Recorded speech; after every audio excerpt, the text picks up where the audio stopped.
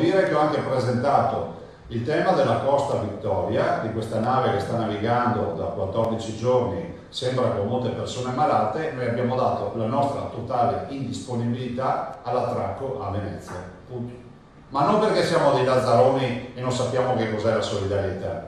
Ho detto semplicemente perché noi, sapendo che a bordo ci sono 1400 persone, non sappiamo quanti possono essere eventualmente contagiati, che abbiano bisogno anche di cure serie, non siamo nelle condizioni di poter far sbarcare tutte queste persone e garantire a loro in maniera seria la sanità, perché siamo in emergenza.